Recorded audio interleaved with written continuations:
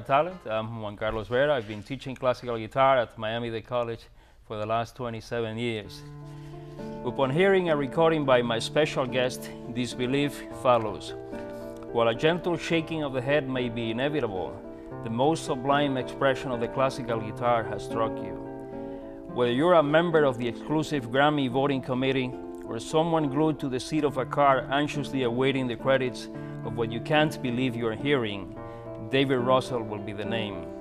Walking away with every major guitar trophy at international competitions during his youth, including the Andres Segovia, Francisco Tarrega, and Jose Ramirez awards, David Russell became a name to be reckoned with. Guitarists will recall that Andres Segovia astonished the English composer John Duarte by producing his unique brand of sound on Duarte's own guitar. But be aware, David Russell is himself on any guitar. His style is Segovia-like and unlike at the same time, hard to pin down. But if chefs taste, David Russell hears, and in the myriad ways in which things interconnect, his sound is buttery with hints of nutmeg, cloves, and lightly splashed Spanish Jerez brandy. Of him, the New York Times hailed, Mr. Russell possesses a talent of extraordinary dimension after his inaugural 1981 New York appearance. It's a great pleasure to welcome for a full hour one of the great guitarists in the world and Grammy Award winner. David Russell is the name. Welcome, David. Thank you very much. You just got off a, a plane uh, not long ago, a few minutes ago, so thank you for the effort. My pleasure. It's nice to be here. Now, uh, first things first, uh, Celta de Vigo, Deportivo de La Coruña, or Celtic of Glasgow? Celta de Vigo, very much so, because that's my city. Your city, uh, you follow uh, the Liga, the, the first uh, division of Spain? Yeah, my wife is a card holder, Oh, really? and I, I don't have a season ticket, but I go very often. If, I, if I'm at home, yes, of course, I, I love it. And Celta is doing pretty well. They're doing well, yeah, we're sort of worried once in a while, but yeah, we're doing well. The, uh, you also uh, used to play golf. You still play golf? I still play when I get a chance, yeah, but you know, when I'm on tour, it's not possible, but when I'm home, yeah, of course. Any effect uh, on your hands? No, well, in fact, that's why I started playing golf instead of tennis, because tennis is a little bit heavy on the right hand. I'm right-handed, and if I play a lot of tennis, then I can't practice so much. I remember Pablo Casals saying how strange it was to play the cello after having played tennis, because he did play tennis. Mhm. The, uh, you also may be uh, one of the only few guitarists to have run marathons. Uh, you used to run Oh, every year. Well, my wife and I have run marathons for, well, we've done 10 of them, and we run one a year. Do you still do? Yeah, yeah, we're down for one in, I think it's November, October, November. Slow marathons, you We're very slow. Yeah, we, we don't try to. But mind you, the last one I m- made my record, but it doesn't really matter. There's always going to be faster people. So it's not really a matter of being really fast. It's just the whole challenge that's. You're also uh, into the outdoors, a uh, botanist. You're interested in plants and Well, I, especially I like photography. Mhm. And so, of course, I like to go out and enjoy whatever the world will offer. It's a beautiful world. Talking about uh, your beginnings, uh, born in Glasgow, Scotland, uh, but moved to uh, Minorca, Spain, because both parents were artists, painters. Mhm.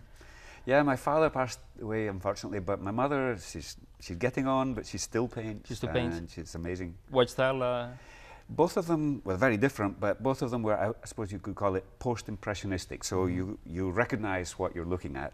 But my mum, in her later life, uh, has become much more adventurous, and her, her art has a lot of fantasy in it, beautiful color, and Mhm. wonderful. and initially, Minorca offered a lot of uh, landscape. In fact, that's why they went Mhm, there, yes. because um, my father was teaching art in a school in Scotland, and you know, after having studied art at, at art school, etc., he wanted to be, they wanted to be artists rather than just kind of be stuck in the mist of Scotland, which is also very beautiful. But so, first of all, we went to the south of France, and then we ended up in Menorca and so we lived there. And all the rest of my brothers and sisters were born, etc. and there you started playing uh, the guitar at age six. Well, I think Um, actually probably started before that. Before that. Yeah. And uh, initially uh, taught by your father. How did that go? Mhm. Well, that's really why I wanted to play guitar because I could see that my father in the evenings would pick the guitar up and play. He played classical, not very well, but he loved it a lot. And he would sit down with a glass of wine and play some music, and it was a nice time to be together. So he taught me, but I think he started teaching me when I was three or two. I don't really remember. It's a magical thing when you see your dad uh, pick up the guitar and play. Yeah. The uh, you also played violin and French horn. Well, that was more when I wanted to study music because at that time it wasn't very easy to get into a major institution, a college like in London, as a guitarist because they only accepted one a year, more or less. Things have changed. The whole mm -hmm. guitar world has just become so much more developed and better. But at that time, I did the audition to get in as a French hornist. Mm -hmm. But they accepted me as a guitarist and a French hornist. Yeah, that's an experience that few guitarists have. Did it uh, contribute to your uh, guitar playing, the French horn especially, playing with the orchestra? and? Uh I think the violin more because I, I, played the violin in, in, I mean, I was the back of the second. I wasn't that very good, but I was good enough to play in good works. You know, a guitarist normally you don't get to sit and play a Beethoven symphony or a Mozart symphony. So that experience was fantastic. I don't know if it really helped me in my guitar playing, but it certainly helped me in my music. Uh, don't violin and uh, guitar uh, repel each other by being so different and similar at the same time? Well, there, there, are many things that you can actually relate. You know, all everything to do with vibrato, tone production, and things that they have, you can apply in some ways to our uh, to our playing, to the guitar playing. So yeah, was, I think it was a great experience. Then you studied uh, with Jose Tomas uh, one of Andres Segovia's main assistants. You said uh, he taught you clearly and concisely. What did he teach you? He, he had a very organized way of thinking. And so his approach to how to resolve problems, both technically and musically, was to uncomplicate it. Get rid of the complication, make it, make it simple. Sim so at least the first idea is simple. Whereas as a young player, I had way too many ideas and doing way too many things to the music and possibly way too many complicated fingerings. Said, no, no, no, you can play something very beautifully without doing all these fancy fingerings. And so I think that what the first thing I learned from him was make it simple first. And then later in the concert, you may complicate it. But that part was really good technically he was fantastic and he had a wonderful tone. So when you sat in front of him and he would demonstrate a little phrase and it sounded just like this beautiful, beautiful, warm, big sound that he used. And it was just an inspiration. Uh, he didn't really say, oh, change your nail or do this, so that the details were up to me. Mm -hmm. But the inspiration came from the did way you learned by watching a lot? Watching and listening, yeah. because each of us are built so differently that a technique that might be good for one person is not necessarily going to be the right technique for another person, especially in the right hand. So really, just to achieve his balance in tone and uh, his use of tone was more listening to him, and that was an inspiration. You had a good relation with him? You got oh, along very Yeah, yeah. I mean, he passed away some years ago, very sadly, but uh, yeah, of course, we were friends since, since I was 20 years old when I started with him. And my wife went to study with him as well after, you know, so yeah. Very good. The, uh, the, then you proceeded to uh, win the three most prestigious guitar competitions in the world. Were you surprised by that?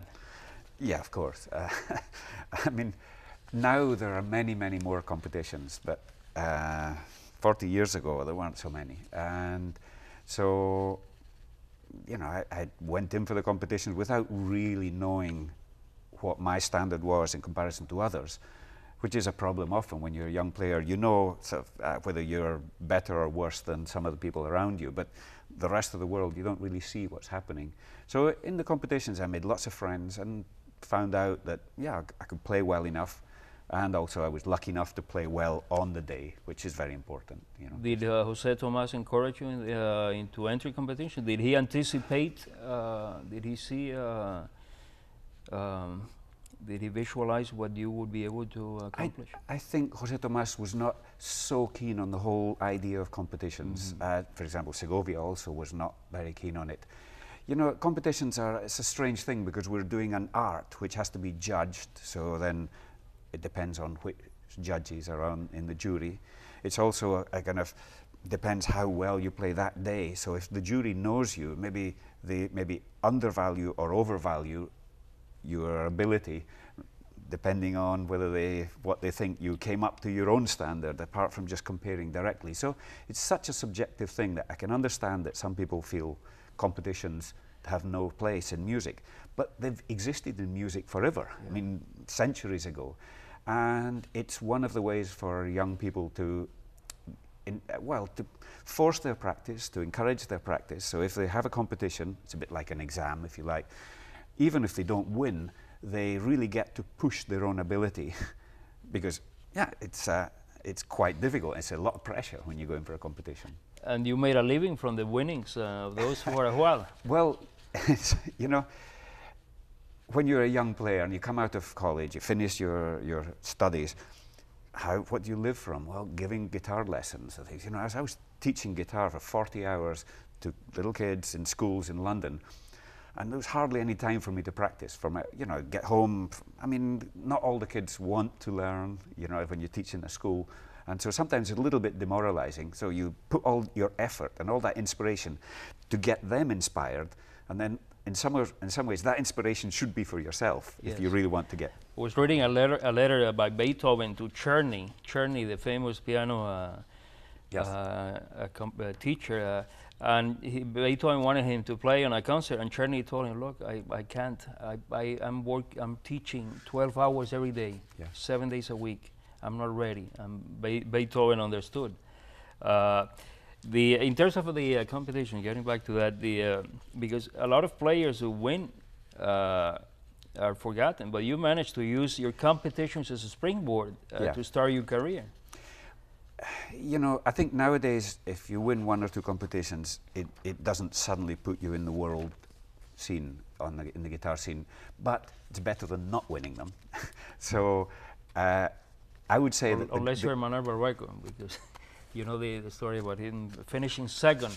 that was the Toronto one, I believe. Yes, yeah, exactly. but well, because everybody saw how good, he, how well he plays, you know, and, and so in some ways that was, it wasn't to his detriment to Yeah. not win. It was okay. And sometimes I didn't win every one I went in for, so sometimes I came second as well. And it's, it's, you know, the great thing is that the money that I got from winning meant that I didn't have to teach for six or eight months, so Yeah, yeah. it was worth it. Talking about concerts, uh, you're performing in Miami tomorrow as we speak. Any special repertoire that uh, you're excited about uh, that you'll be bringing uh, to this concert? I have two pieces that I'm really happy to play here. I have a new piece written by Sergio Assad from the Assad, Yes. Assad duo. And Sergio has written some pieces for me before, but he wrote, uh, some years ago, he wrote a piece called Ellie's Portrait, Yes. which is a piece based on Ellie's name, Ellie Kastner. And I performed that one. Then he wrote another one called Sandy's Portrait, Yes. which I've also played based on Sandy Bolton's name. Now he's written one that's called David's Portrait. so it's, it's mine. Uh, it's of my name, and it includes my father's name and my mum's name, and also my wife, Maria Jesus. Her name is there. So he's uh, made a kind of fantasy out of the themes that come from. Reminiscent of the great uh, Edward Elgar, the English composer, right. uh, the Enigma Variations, So- in which uh, even a dog is included. The, uh, talking about concerts, do, do uh, different concerts require a different level of uh, preparation? I suppose they shouldn't, but if you you know if you're going to do a, a major debut in a big city or something like that, then beca- just because you feel the pressure, there may not be more pressure, but you feel more pressure. Perhaps you have to practice it more. But I would say I, I want to be just as well prepared if I'm going to play in a small village in the middle of Spain as if I'm going to play here or wherever else. You say it, it helps the cause when someone plays uh, well anywhere. Absolutely. You know, I was lucky, and uh, probably most of us could tell a story of having played in some unknown little place, and there's someone in the audience that helps you get forward in your career.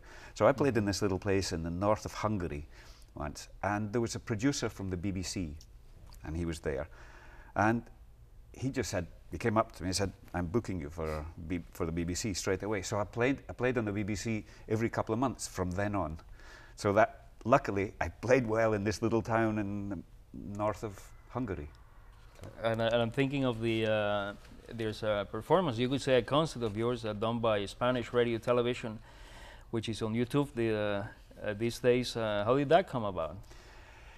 Uh, a, a person phoned up and said he, they, he wanted to make, originally it was going to be a series of concerts, but I believe that, that maybe things didn't go, work out, so mine was made. And so I went to El Escorial, which is a, a big palace. Yeah. Um, and near El Escorial, there's a small palace where the prince was going to live and perhaps did live, and it's really beautiful. Wonderful acoustics and things. So basically, I, I played. It, it was not long after I'd made a record of Latin American, a CD of Latin American music. So I had that, uh, that repertoire, and so the whole program is Latin American music. Is it particularly challenging to record or play uh, for television? Yeah, yeah, because it's about- well, that's not completely live, but each piece is uncut. So, you know, when you play live, things things on the screen kind of like stand out more than in a concert because people's attention is different. So yes, it's perhaps a little more difficult to play for TV, but yeah, if you're well prepared, then you do it. It's okay. Is there a dominant fear before a performance? Uh, memory, fingers, making a fool of yourself? Well, yeah, I mean, there's lots of fears. Probably everyone goes through different kinds of fear or stage fright at different times. But, you know, I'm fairly lucky that it doesn't really scare me too much. I mean, there are much worse things in the world and people have much bigger challenges. So, you know, you, you, you, you're not in mortal danger. It's just your ego that is in danger, you know, if you make a mess of something. So really, the, the, I think the whole idea is to be really well prepared. And then also, you can't go from never playing and you don't play for six months and then suddenly play for a TV program. You, you can't do that. You have to go through a process of playing your pieces of music for people, for friends, for family, and then finally put it into concert. With concerts, the um, you've said that uh, the circus atmosphere or the high wire act uh, atmosphere in concert it doesn't really particularly it, it doesn't uh, that type of thing doesn't attract you. Is there such a mentality in concert that people Well, I think you know, there, there a lot of concerts. Some concert, let's say not many, but some young players tend to show their technical ability, which is perhaps the circus side, rather than their expressive or musical ability. And I think maybe as people get older, they maybe value more the expression and the the artistic side. But there are young players who play really artistically and really beautifully. So it's not everybody. It's just some go more for the flash than for for the beauty. But still, it doesn't matter. It's okay. I probably did it when I was 20. You know, who cares? do you find being uh, in front of an audience uh, addictive? I think maybe maybe the uh, the excitement of playing your concert and when things go well, the excitement of I won't say just the, the applause, but the excitement of that situation is something that I would miss if it was taken out of my life. I would probably end up having to look for other sort of challenges that gave me something like that excitement. You know, I don't need to go and risk my life climbing, climbing mountains or do, or riding motorbikes really fast because, you know, every week or so, if I play a concert, I feel like I'm risking my life, and so the challenge gives enormous satisfaction. As I say, when it goes well, you know, and hopefully it's going to go well always. But the challenge the, the, um, the size of the challenge is equivalent to the size of the satisfaction, right?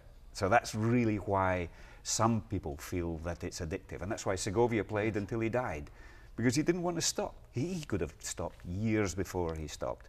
But he enjoyed that situation, and me too. You remember he said that his bones would shake before a performance, and at the end of the performance, he wanted to do it again. Yeah. And now we're going to uh, listen to the great David Russell in performance, and we'll come back in a moment.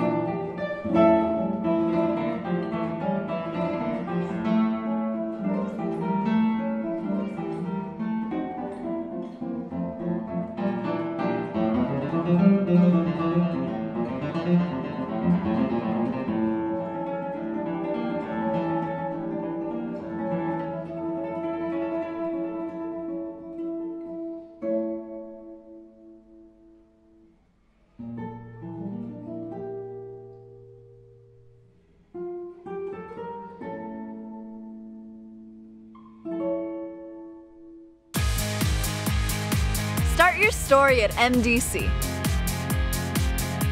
Be analytical. Be imaginative. Be a rising star. Be bold. Be connected. Be the solution. Be ready. What's your story? Be the best. Be you. Be MDC.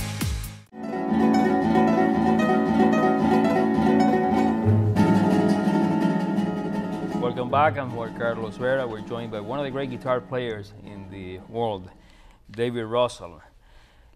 Talking a little bit about uh, appearance and, and wardrobe. Uh, David, you, you don't mind appearing in shorts on YouTube videos. Uh, can you imagine Segovia doing it? Well, things have changed. You know, there was a time when perhaps like Segovia, etc., was very conscious of uh, being the Grand Master. But the whole period of the Grand Masters, it's over, you know, and so nowadays we're, we're more normal. But I still dress well for my concerts. I don't go into my concerts in shorts. But YouTube is, a, is another world where, I mean, those some of the little YouTube things I've done, it's, it's, it's in my studio and I'm just playing PCs for, and sometimes I did them purely for myself, and then you put them up because people ask for them or whatever. So it's not really, I don't really want to uh, come out like I don't care, you know. In the YouTube, yes, but in the concerts, I, I want to present myself well. Are you comfortable with the formal attire uh, of concerts? Well, even that has changed because, for example, you mentioned the, the recording that I did uh, at El Escorial in Spain. Quite a while ago. I'm wearing this huge uh, bow tie. I mean, it's completely out of fashion now, but it was 20 years ago or 15 years ago. And at that time, most of my concerts I played with a dinner jacket and this huge big bow tie because it was kind of like the fashion. Now I, I just, I go like this, more or less. Sometimes I wear the jacket and things. But pr the presentation is partly you are saying what you want to say with your clothes. You are saying to the audience, okay, I respect you or I don't. It depends what you want. And okay, you've got long hair, I have long hair. I can't cut it anymore because all the photos have long hair. So if I chopped it all off, be a new situation. Uh, what about the long hair? Was that a, an image decision or a personal? Uh? When I was a kid, I always had long hair. My, my grandfather was a barber uh, in Glasgow. And every time I visited him, he'd want to cut all my hair off again. so there was a, there's an element of rebellion, if you like, when you're yeah. 15 or 16, and my parents said, you leave it as you like. And then it just, that's the way it stayed. So It was in fashion in Spain at the, uh, the time also? Mm, perhaps, yeah. I tell you what, the presentation I think is important. The other day I listened to this uh, wonderful group of young young guitarists, uh, like in, in, a school, mm -hmm. like high school, right? And they weren't super super guitarists, but they played some pieces for me very nicely, and things. And one of the things they they could have improved, and they did immediately, is said your presentation is not good. That's bits of paper falling down. Uh, this one looking that way. This one, uh, no, no when they did it with better presentation, it was suddenly better. I don't say the playing was necessarily better, but what we do is so subjective. That is, you are trying to entice the audience into your, your music. So your presentation is also part of it. Some people talk, some people don't. So it's not that you have everybody has to do it the same, but you have to do something that charms the audience so that they enjoy your music. Yes. Right and the way you present yourself on stage is important. Were you seen as flamboyant, and did it help? If, Not so? particularly. I think there are, there are many more more flamboyant people than me. You were never the uh, bad boy of uh, classical guitar. No, I don't think so. No, no. The uh, well, you're not highbrow either. You don't put airs uh, common in classical music. Well, you know, our world is perhaps slightly different, say, from the opera world or whatever. And most of the classical guitar audience is slightly different. We kind of cross that border, and many people who maybe play country music and like some jazz, that might go to a classical guitar concert. They may not go to the opera, but they might come to ours. So our, our audience is quite broad, really. And I think maybe our presentation or our way of being has to be for the people who love going to hear, say, a piano recital of all Beethoven, and the people who maybe like to go and hear a jazz concert or something everybody can enjoy our thing if we do it right and we present it right. The uh, talking about style and sound, Are you better defined by your style than your repertoire? I think both. You know, we use repertoire to to mark our style, and if you feel that you play certain kinds of pieces quite well, then you're going to choo choose that repertoire. And if you feel that you don't play this repertoire very well, I'm going to leave it for other people. Why is it difficult to identify with a particular type of uh, repertoire? Well, some people, for example, don't like to play transcriptions. And so there are some uh, guitarists who only will play pieces that were written for the instrument. That's their choice. I, I love playing transcriptions because I wouldn't like to spend my whole life without playing a piece by Bach or a piece by Albéniz. you know, so I'm happy to do transcriptions. Some people don't like to play Baroque music, for example, because maybe they, either they don't live it very well or they don't like it or they don't enjoy it. That's fine. S some people don't like to play super contemporary music. For example, I, I don't play many super contemporary atonal pieces now because I feel that other people do it better than me. But I play many pieces that are written now by composers and friends, like, for example, Sergio's piece and things. Um, every, every concert, I have one or two pieces that are written more or less now, and I enjoy doing that. Is there a piece that defines you? No, no, no one piece, no one piece, of course. How are you able to uh, transcend from guitar playing into art, a phenomenon uh, so obvious to anyone who observes you?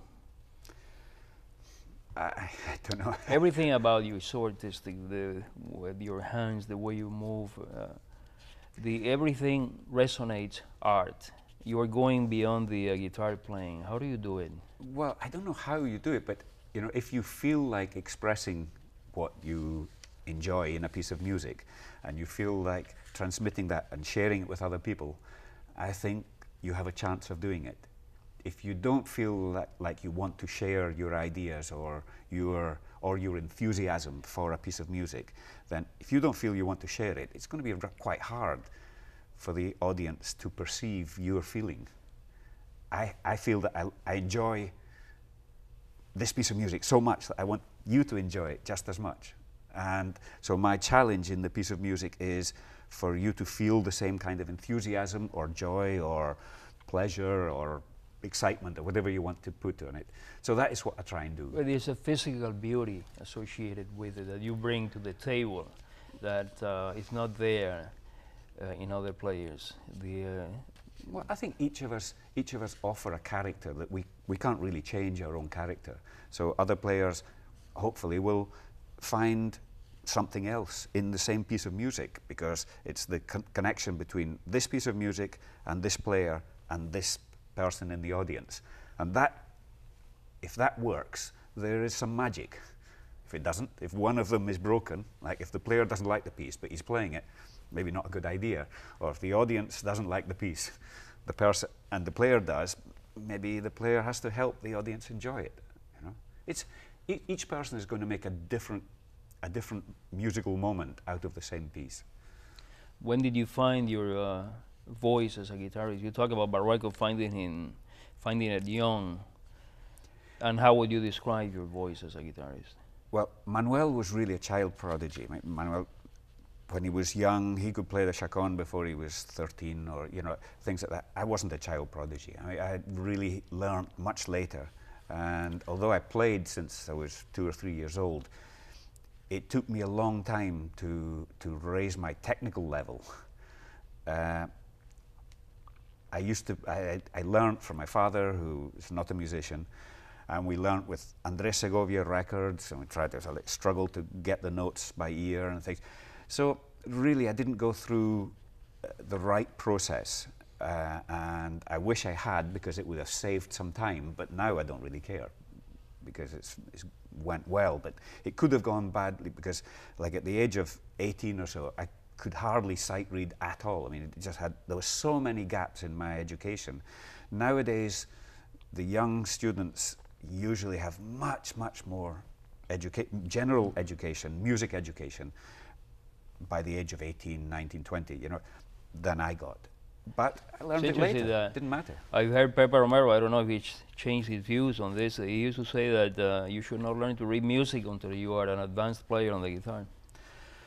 Well, that's possible. I mean, I, I, you know, sometimes when something is said out of context, I'm worried that Pepe would might not agree with that now. You know, as you get older, you have to read more because you want to play more pieces and that. So if your sight reading is not very good, you really have you have to practice so many hours to learn a piece. Whereas you know, if, if you can just read it. What is David Russell's uh, unique contribution to the guitar? I, I don't know. Other people can judge that for, for me. Do you happen to uh, identify uh, with uh, two-string ornamentation, for example, uh, in an almost personal way? You took that to your new heights.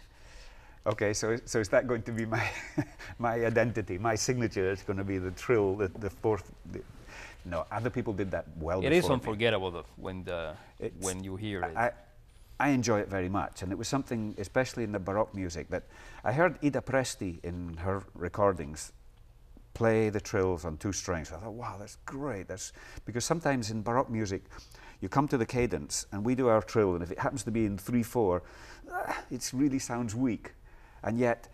When that same piece is on the harpsichord, that moment is the loudest moment because there are more notes, you know, and the, the feeling of tension and resolution is much greater because their trill is much better than ours, our traditional trill. Yes. So if you do it on two strings, you can get that power and tension in a cadence.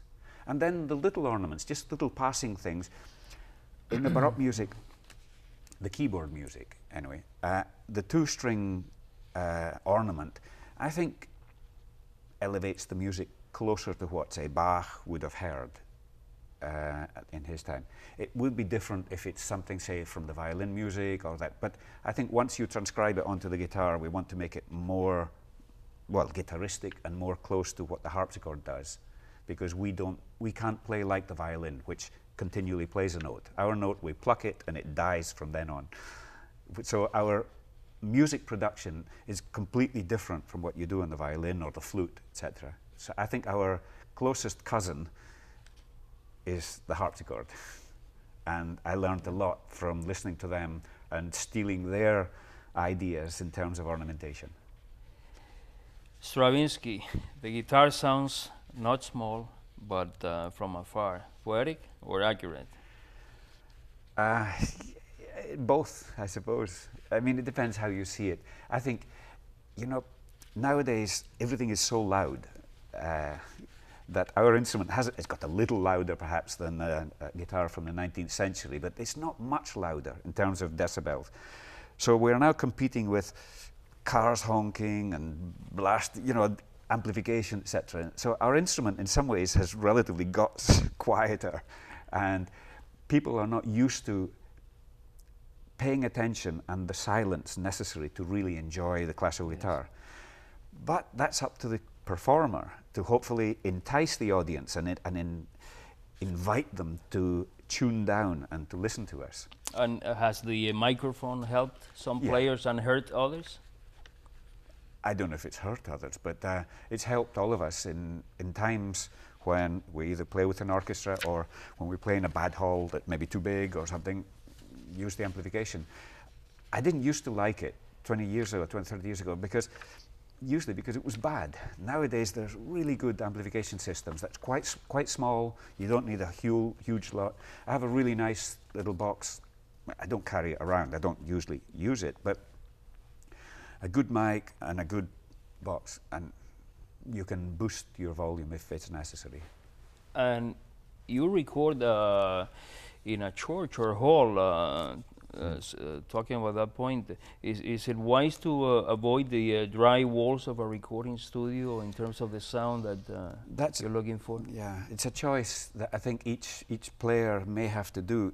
You see, I feel that I play better in a hall that has good acoustics because you, you use the acoustic to spread out your, your notes, to, you know, the, the, it lengthens the note. And when you play in a dry hall in a, or a dry studio, the note only rings as long as the string rings. You, you don't get the help of the hall, the, the amplification, if you like, that the hall gives you. So then what, what tends to be done is that then electronically, from your dry note, they create exactly. the hall, right? But it doesn't inspire you as well, you're playing. I'm not in control yes, of it. Yes. The, the electronics is in control of it. So I, I prefer to give a problem to my technician and say, the technician, to record in a good hall is a problem for them because Yes. uh, there's extra noise coming in, outside noise, they, because the microphones have to be further away, and it's a problem for them to capture the beauty of, say, this hall. So my engineer, that I made 15 CDs with him, uh, Tom Knab, unfortunately he passed away, but Tom's a fantastic guy, and I made a whole lot of CDs in Baltimore. Um, actually, about three, four miles away from Manuel Barrueco's house. It's a beautiful hall, and uh, Tom Knab, the engineer, was able to capture the beauty of that hall. I think I loved it. Yeah. And uh, we're going to listen again to uh, David Russell uh, with another great performance, uh, and we'll be back in a moment.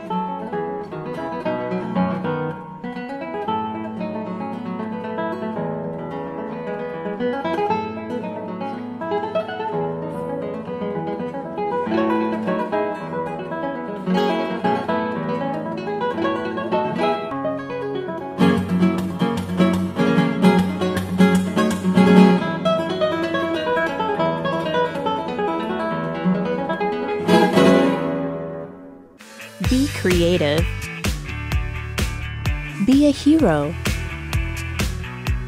Be the solution.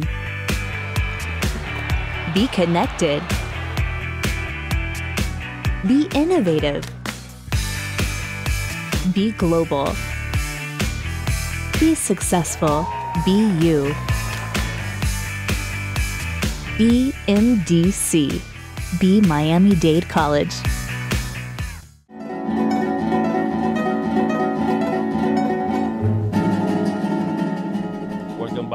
Talent. I'm Juan Carlos Vera. We're joined by great guitar player David Russell, one of the great guitar players in the world. Uh, Aire Latino, Grammy winner for the best soloist instrumental uh, performance, competing against the likes of uh, Pletnev, Ashkenazy. Uh, you thought you didn't have a chance, uh, but you, you and your wife Maria Jesus uh, showed up anyway. Well, you know, Maria is much more adventurous. My wife is, she said, you know, okay, you got a nomination, we're going to go anyway, just for the party. And just to, you know, so we got really well dressed. She had a beautiful dress, and I had a nice, nice new suit and things. And we went there really without any hope. In fact, I didn't prepare a speech or anything. And um, my, the producer from Telarc, the night before, he said to Maria, David has a chance, more of a chance than you think. So I got nervous there. But I really didn't think it was going to be for me. But it was. So I, I, I was sat in the front row with, uh, with a guy who was nominated for um, American ethnic music, uh, North American. Uh, and uh, so we shared, we had, okay, I said, if I win, you take photos or something. And if you win, I'll take photos. I think he got a, a, Grammy as well. So anyway, then suddenly my name came up and that was it. It was fantastic, a wonderful, wonderful experience. I'm really glad we went. You uh, see that uh, recording that album uh, in a special uh, light after? Yeah, of course, part, partly because of that. But also, you know, everything just came together for that album in, in a sense that um, the the sound was great, the the packaging, everything just was extra good. Uh, I mean, the others are fine as well, but that one just had something a little bit extra, and that's maybe why it was nominated. Oh, I understand that uh, the uh, due to all of this popularity, uh, there was uh, an avenue in Minorca, Spain, named after you. nice place for a guitar shop. That's right. Well, I, you know, I grew up in a tiny little village of 800 people, and so of course everybody knows me, and I know everybody there. And when they made a new street, they, they gave it my name, which is usually, you know, you have to wait until you're dead before you get a street. so it was fantastic, you know, wonderful. I'm very proud. That's why sometimes I put it in the CV because they mm. made me, first of all, adopted son of the town. Yes. And then, and when I go back there, it's marvelous. Everyone is very friendly. I love it. Talking about recordings, um, you got any new projects or recordings that uh, you're working at the moment? Yeah, in fact, in a couple of weeks' time, I'll be recording, and I'm going to do three of Sergio's pieces. A piece by Steve Goss called Cantigas de Santiago, mm -hmm. which is a wonderful piece, which I'm going to add to the program tomorrow. It's not on the program, but I'm going to add it because I love it. And another piece by Matt Dunne called Landmarks. Matt is a composer from, well, he lives in Texas, and he wrote a piece for me last year. It's really beautiful. How about your own stuff? Uh, you feel uh, you have something to say as a composer? I think I have more to say as a player than a composer. I'm not. I'm not very good. I mean, I'm a I'm an arranger, so I, am I'm, I'm happy to arrange many many pieces, and, and I enjoy doing that. And in the Scottish Celtic music, that's probably the closest I ever came to really playing my own composition because I wrote my own variations. But I'm not up there for that. Talking about uh, technique, um, how did you start playing diagonally on the right hand? It wasn't Jose Tomas, uh, was no, it? No, I, I, studied at the Royal Academy in London with a man called Hector Quine, and it wasn't Hector either. Uh, it's just, I was just looking for ways to get to get the sound to work, and I ended up playing more and more diagonally. Probably at some point too too much because I had a very bright guitar, and uh, so my whole idea was you take a bright guitar and how to make it warm. Or now I have a very warm guitar, so I have to try to make it bright if necessary. But I use a lot of angle. But then the angle changes, you know, so it gives you a variety of sounds without having to go down to the bridge and up to the sound hole. You can change the sound just by changing the angle a little yes. bit. And so, yeah. And you say that sometimes you even change guitars depending on the repertoire. Yes, I've done that a lot. Yes. you can't do that on tour. Yes. you know, you're stuck. when, when you're on tour, you're, you're going to be Not two, two airplane. months. Yeah, that's right.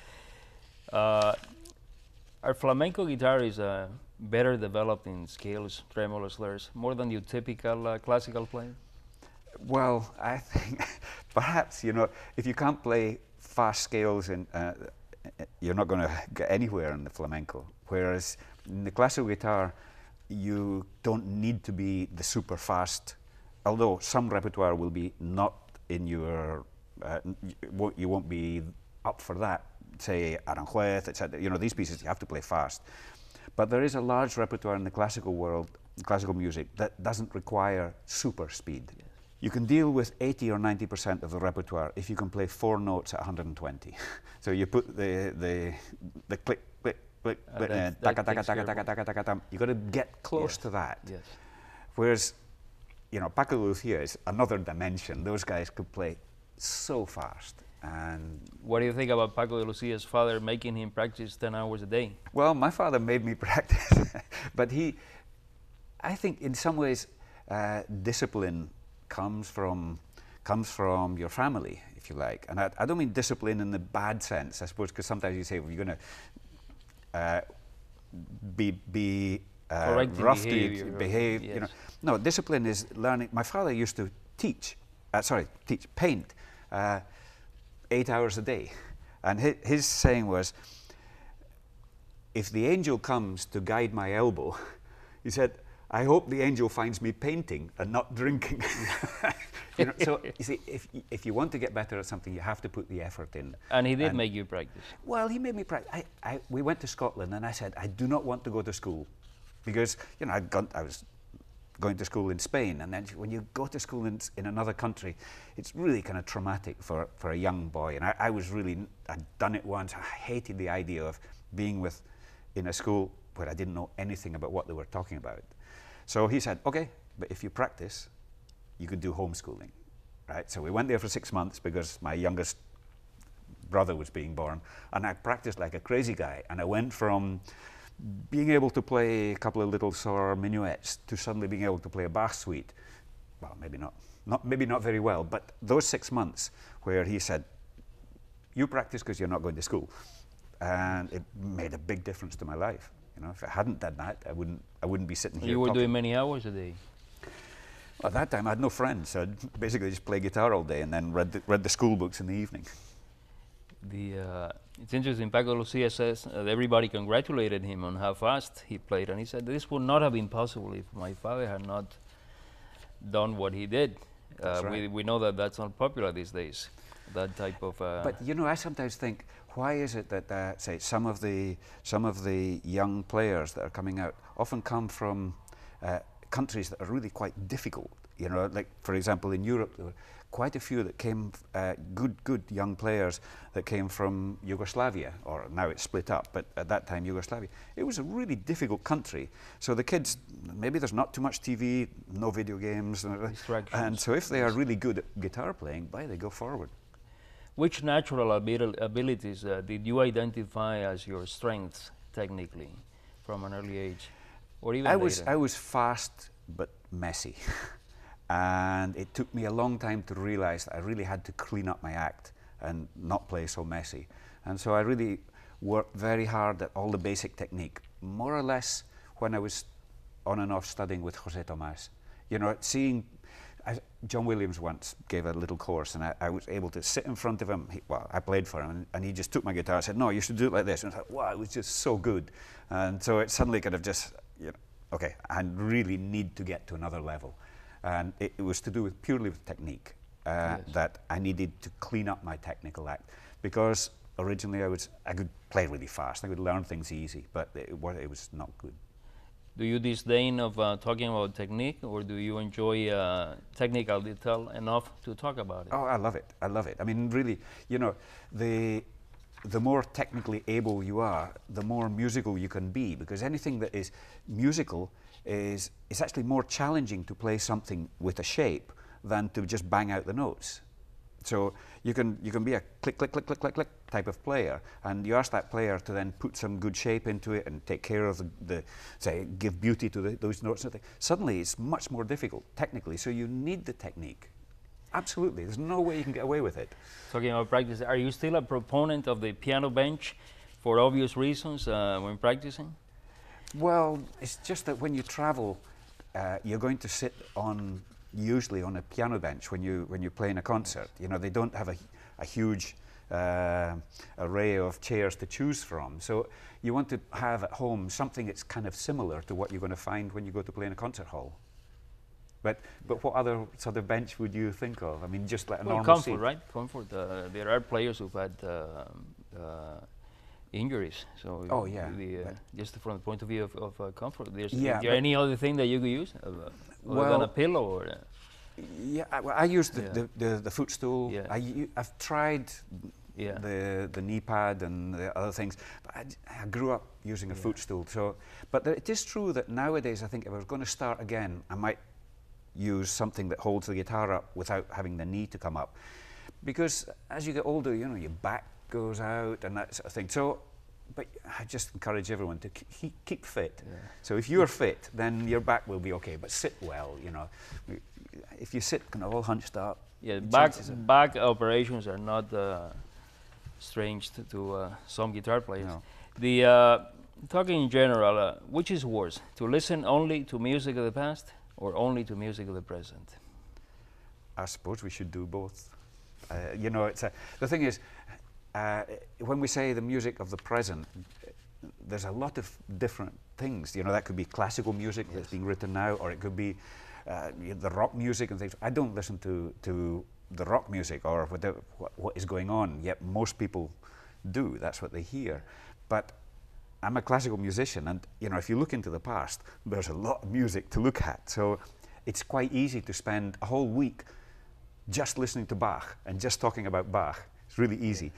It's not so easy to spend a whole week com- on one composer that is alive just now. It's not so easy. So I would prefer to be omnivorous, mm. guitaristically omnivorous or musically omnivorous. Which player, note for note, uh, has the, great, the greatest uh, interpretational content, in your opinion? O- on the guitar, Yes. uh, it's, it's really hard. That you know, because once you know people as friends, if you like them, you start to like their music, and if you don't like them, even if they're geniuses, maybe you don't like their music. You know, so I love listening to my friends, although I always get nervous in their concerts. Yes, you do. And uh, yeah, well, I get nervous for them because Yes. uh, if I like them, I want them to have a big success, and you know, so. But I love it when I see a friend really playing beautifully. You know, it's it's more impacting, it's more emotional than if you he- hear somebody you don't know and they Yeah. play beautifully. Well, fantastic, that's great. How do established guitarists deal with the proliferation of young prodigies coming out left and right these days? Well, I think it's I think it's fantastic. You know, it's, it, there was a time when the when the guitar was kind of like the, the poor the poor brother of the Royal Academy, or you know, we were the worst in our general knowledge. Now, when you go to a university or something, the guitarists know as much as the pianists or as much as the violinists. You know, so the guitarists are not left behind because because there are enough virtuosos, but also the general knowledge in music and things is so much better than before. So I see it as something absolutely fa- fabulous. It will be difficult for them to break through. Who is going to be the next person that's going to be playing lots of concerts? But it was difficult for us as well. And then you hear when Julian Bream talked about his struggle, it was also difficult for those people. And then Segovia talked about his struggle. It's never been easy, so it's not going to be easy the next 10 years. But if everybody is playing at this high, high level, of course there are going to be some people that will be also not only technically able, but will be wonderful to listen to in their artistry. What will you teach a seven-year-old? We have a lot of kids in this program, uh, program uh, young players. What will you teach a seven-year-old?